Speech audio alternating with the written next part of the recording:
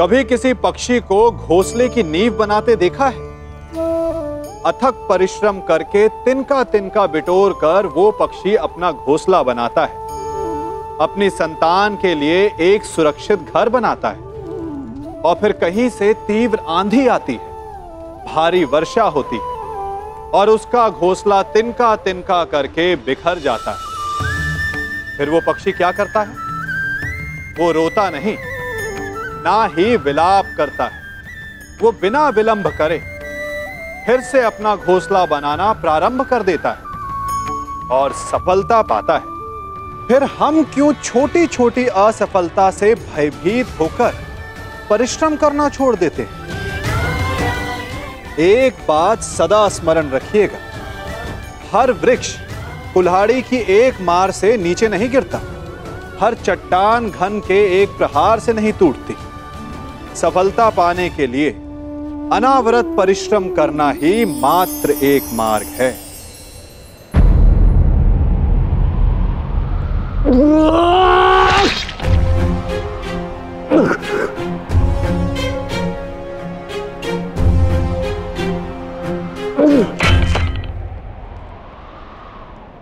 तो क्या ये आपका न्याय है? क्या इसीलिए इसीलिए आप मुझे मोरपंख हो जाने के लिए कह रहे थे। उत्तर दीजिए! उत्तर दीजिए!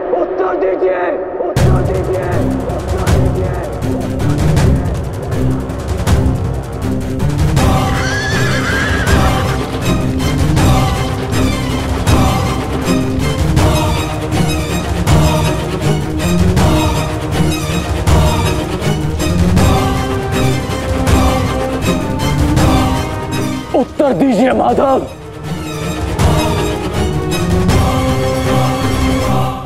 उत्तर बहुत लंबा है कर्ण और समय बहुत कम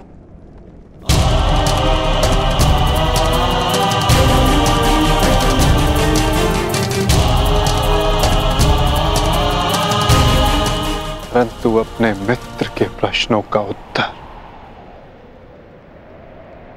मैं अवश्य दूँगा।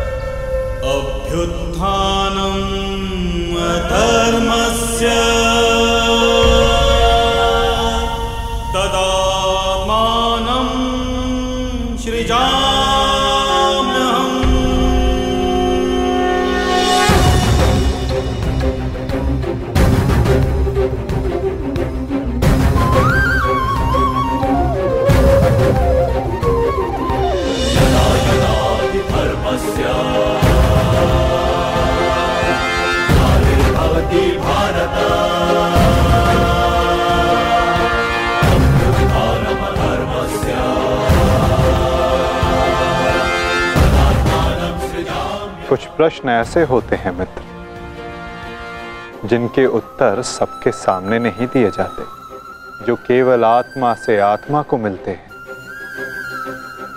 अब समय थम गया है। पूछो, क्या प्रश्न है तुम्हारे मन में?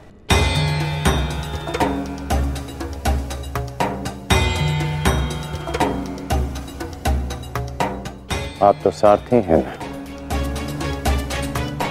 अपने रथी का मन पढ़ लेते हैं। तो पढ़ लीजिए। मैं पहले भी कह चुका हूँ मित्र मुझे तुम्हारे मुख से सुनना अच्छा लगता है। तो सुनिए बताइए माधव ऐसा क्यों होता है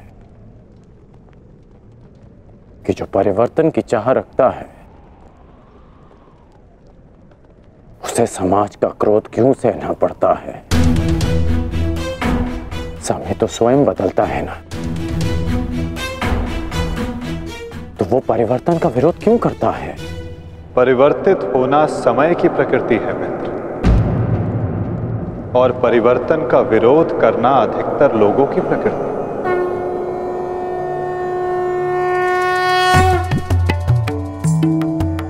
परिवर्तन के कारण मनुष्य को अस्थिर होना पड़ता है। और यही अस्थिरता मनुष्य को पीड़ा देती है, मित्र। इसी कारण समाज परिवर्तन के विरुद्ध खड़ा होता है। परिवर्तन करने वालों को पीड़ा देता है, ताकि वो परिवर्तन के मार्ग से हट जाए। तो क्या इस विरोध के फलस्वरूप समाज को अधिकार है कि वो एक अबोध की हत्या करे। क्या दोष था मेरे भाई शोन का यही कि उसने वेद पाठ किया। उसके लिए, उसके मुख में पिघला स्वर्ण भर दिया गया।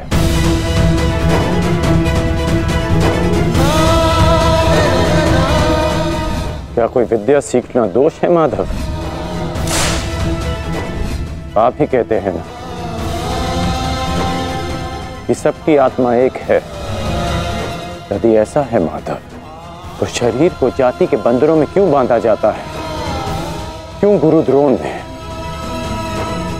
मुझे जाति के नाम पर शिक्षा नहीं दी? मैं केवल और केवल राजकुमारों को ही शिक्षा देता हूँ। विश्व के इतने घातक अस्त्र होने के पश्चात भी रंगभूमि में क्यों मुझे प्रदर्शन करने से रोका गया? तुम्हें द्वंद की अनुमति कदापि नहीं मिल सकती। अर्जुन कुरुवंशी है अर्जुन क्षत्रिय है अर्जुन राजकुमार है और तुम? तुम केवल एक सूत पुत्र हो। सूत पुत्र। क्यों हर बार मेरे कौशल को सूत पुत्र कहकर दबा दिया जाता है।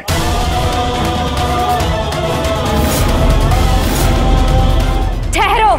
मैं एक सूत पुत्र से विवाह नहीं करूँगी। बताइए माधव। क्यों होता है मेरे साथ ऐसा?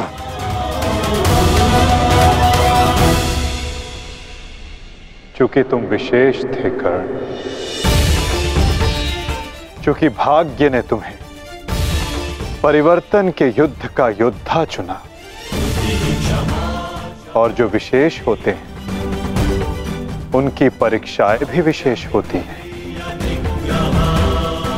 जो अग्नि बुझाने का प्रयत्न करते हैं उनके हाथ भी चलते हैं मित्र। तपाया स्वर्ण को जाता है, ताकि वो कुंदन बन सके। ना कि ताम्र या लौह को।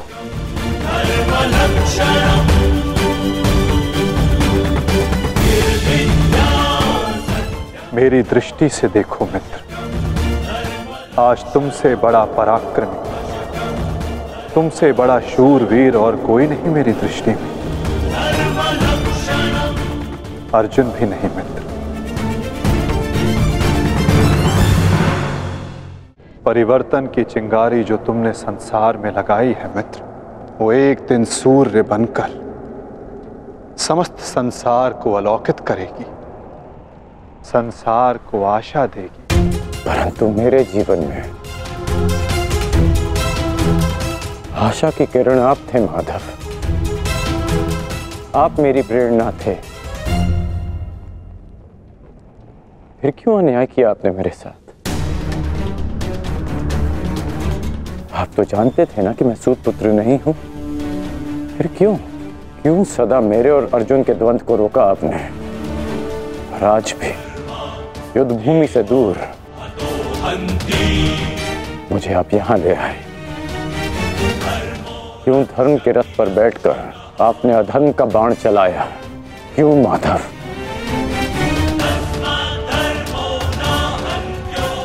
यदि आपको मेरे प्राण चाहिए थे तो सीधे कह देते माधव। मैं प्रसन्नता से अपना शीश काटकर थाली में आपको भेंट कर देता।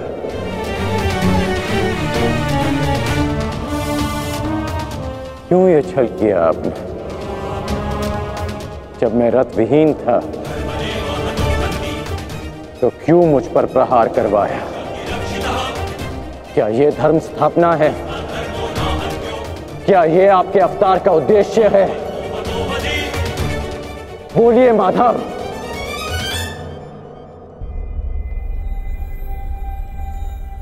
आप उत्तर क्यों नहीं दे रहे हैं? अर्जुन से पूर्व मैं आपका रथी था। आप मेरे सारथी थे। और आप ही कहते हैं ना कि सारथी रथी का मन पढ़ लेता है। तो आज क्या हुआ? आपको मेरे प्रश्न पता है। फिर उसके उत्तर क्यों नहीं दे रहे हैं आप? बोलिए।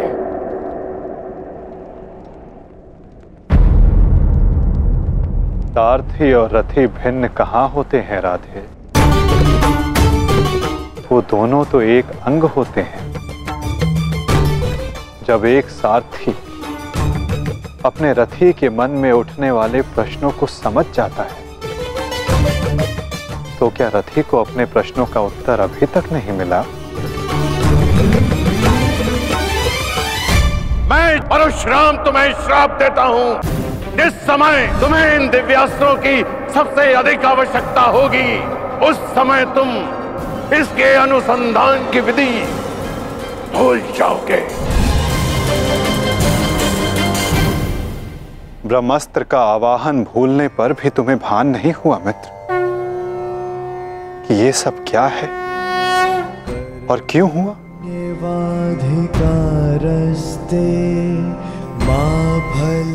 तुम्हें यहाँ खींच कर लाना मेरी विवशता थी मित्र। माँ कर्म फल है दुर्भु ताकि परिवर्तन के इस शरीर पर श्रापों और पापों का बोझ उतारा जा सके।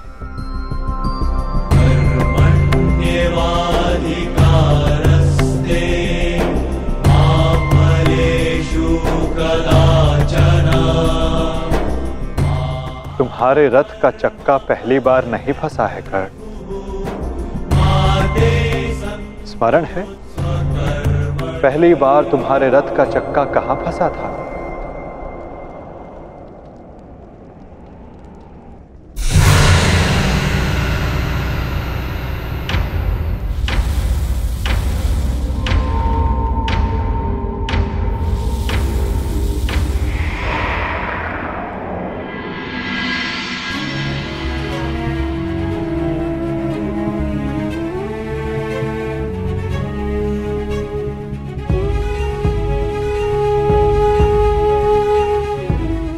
स्थान स्मरण है मित्र। स्मरण है कि हम किन परिस्थितियों में पहली बार मिले थे?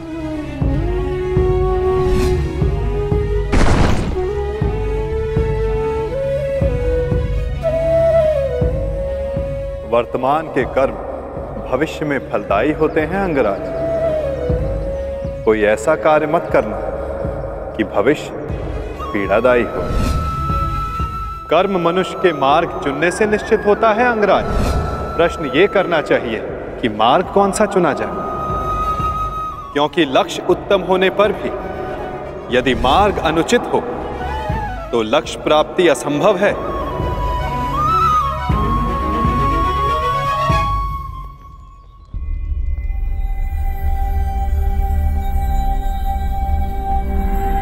स्मरण है मुझे।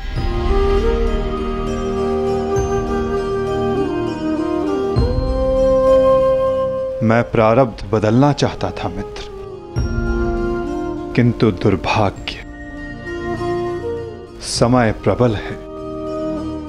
तुम्हारे वचनों के कारण, श्रापों के कारण और पापों के कारण इस वर्तमान स्थिति में आना ही पड़ा कर्ण। वचन और श्राप, इन दोनों का बोझ मैं समझता हूँ परंतु पाप मैंने कौन सा पाप किया माधव? परिवर्तन की चाह रखना। क्या ये पाप है? अपने गुरु के विश्राम को भंग ना करना। क्या ये पाप है? अपने मित्र की सहायता करना। जिसने सदैव मुझे सहारा दिया। क्या ये पाप है?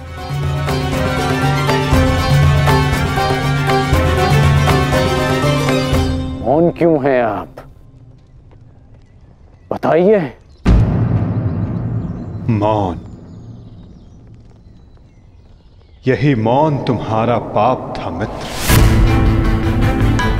तुम्हारी चुप्पी तुम्हारा अपराध था। पांचाली के वस्त्र हरण पर तुम्हारे शस्त्रों का मौन रहना अपराध था, मित्र। होश में आओ दुर्योधन तुम्हारा प्रतिशोध पूर्ण हुआ। मत करो ये अनर्थ। प्रतिशोध तो अभी आरंभ हुआ है मित्र और अब इसके मध्य में तुम्हें भी नहीं आने दूँगा।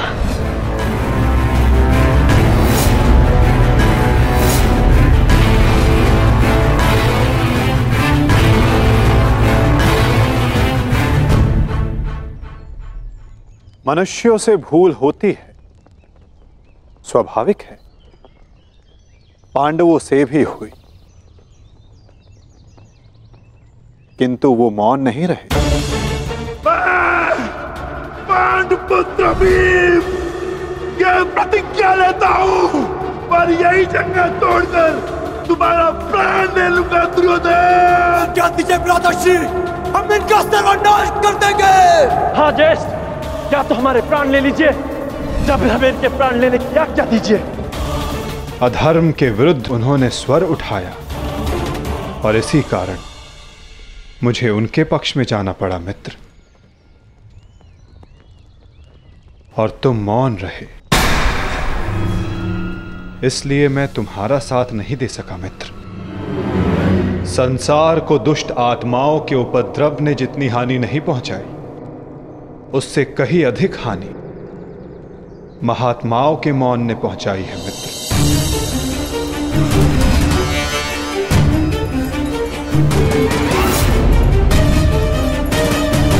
अभिमन्यु के वध पर तुम्हारा मौन पाप था मित्र।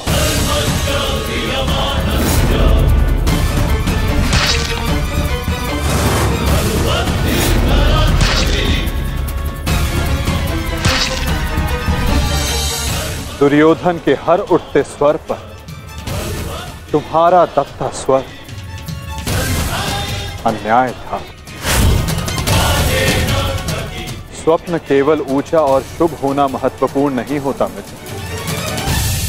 उस स्वप्न को पूर्ण करने का मार्ग भी शुभ होना चाहिए। परिवर्तन की चाह में तुम अधर्म का हाथ थाम बैठे मित्र। ये तुम्हारा अपराध था। अपनी प्रतिज्ञा पूर्ण करने के लिए तुम दुर्योधन को मित्रता का वचन दे बैठे मित्र। ये तुम्हारा अपराध था। अमृत पाने की यात्रा तुमने विषधर के कंधों पर बैठकर की मित्र। ये तुम्हारा अपराध था।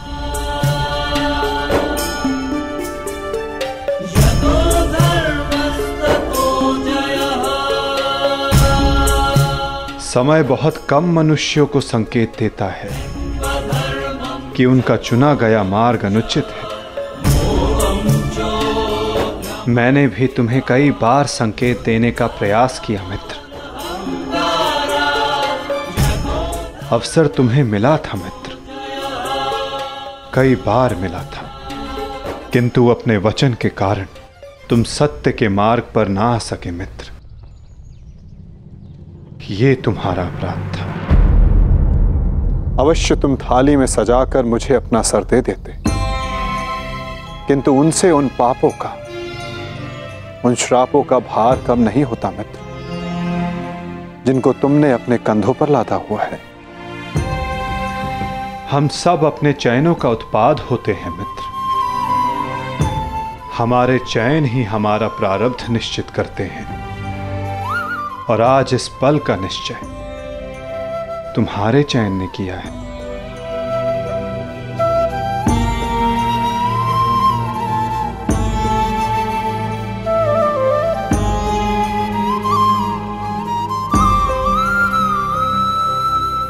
और मुझे देखो मित्र।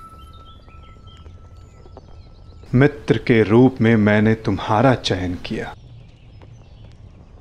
इस कारण इस पीड़ा का भागीदार मैं भी बन रहा हूँ। मैं तुम्हें सदा शांति देना चाहता था, मित्र। तुम्हें इस जन्म में हर पाप से मुक्त कर देना चाहता था, मित्र। इसलिए मैं तुम्हें यहाँ खींच कर लाया।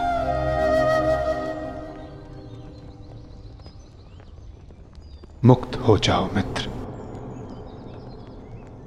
मुक्त हो जाओ कर्ण।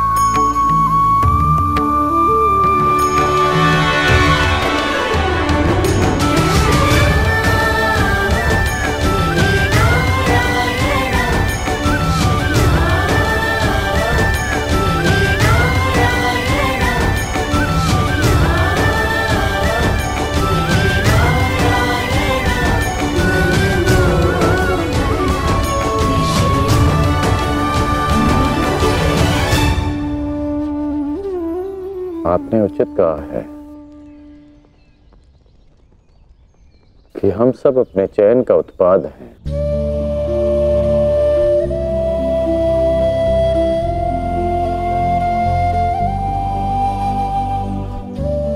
मेरा ये घाव भी मेरे चयन का परिणाम था। उसे आपने ले लिया, माता। परंतु ये अवश्य किसी और के हिस्से में पीड़ा गई होगी।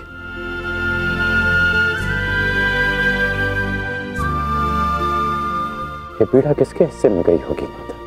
उसे। जो नहीं चाहता कि किसी और को पीड़ा सहनी पड़े। पीड़ा को टाला नहीं जा सकता, मित्र। किंतु बांटा अवश्य जा सकता है। एक मित्र ही मित्र की पीड़ा बांटता है।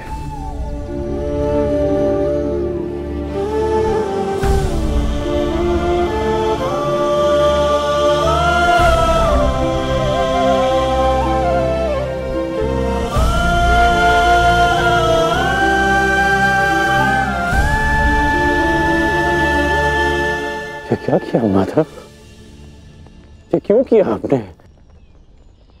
तुम उस राजसभा को भूल गए, मित्र। भूल गए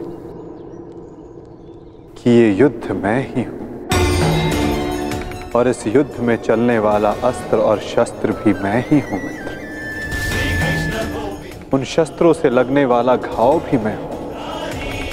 और उन घाव का उपचार भी मैं हूँ। इस युद्ध में विजय होने वाला मैं हूँ। और मृत्यु का आलिंगन करने वाला भी मैं ही हूँ। मित्र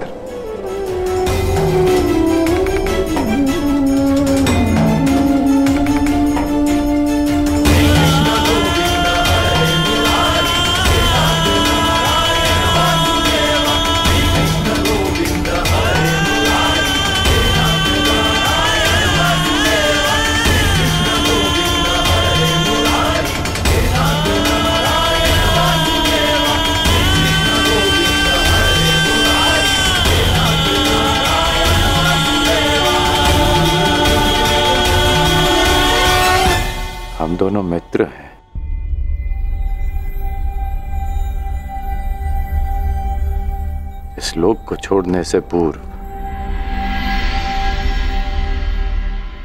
मैं अपनी पीड़ा अपने मित्र को नहीं दे सकता।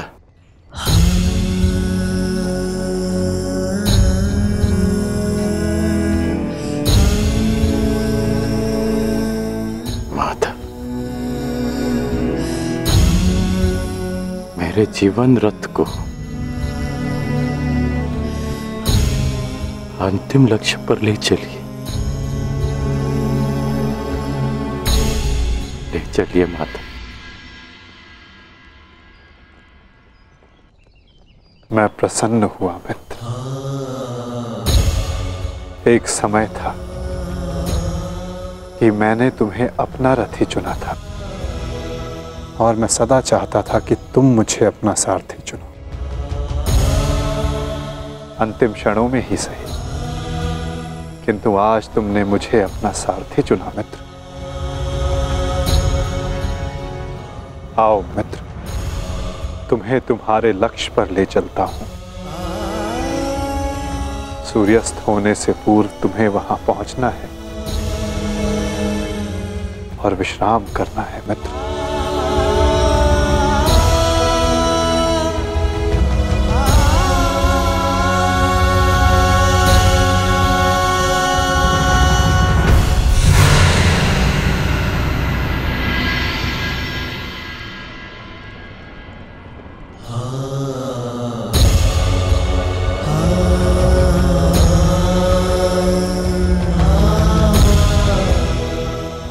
चयन की नियति स्वीकार करने को सज्ज हो जाओ मित्र।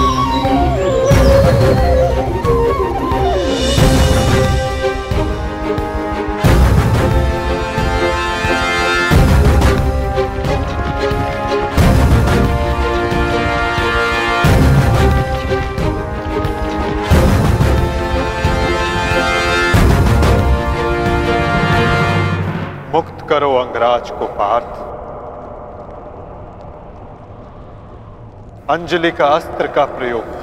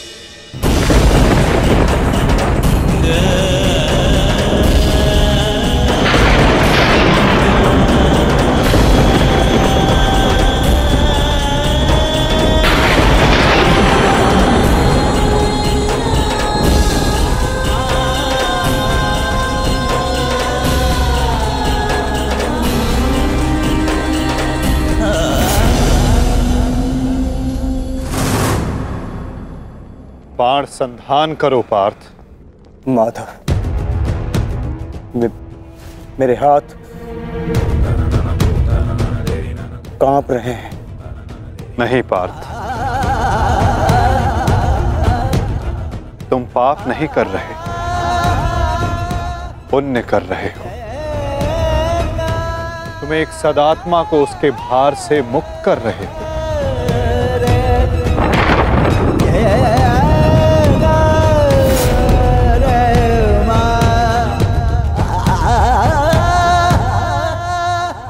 हे मृत्यु, तैयार यदि तू आने को, प्रसन्न मुखा द्वार खुला है। तेरा स्वागत प्रसन्न मुखा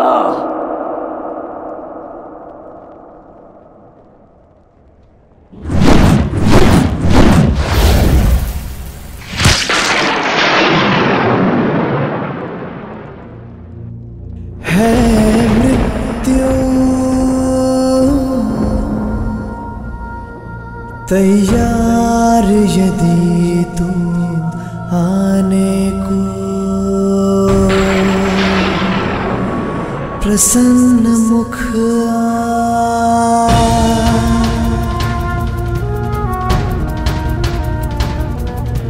द्वार खुला है तेरा स्वागत वीर खड़ा द्वारे अभयागत। द्वार खुला है तेरा स्वागत वीर खड़ा द्वारे अभयागत।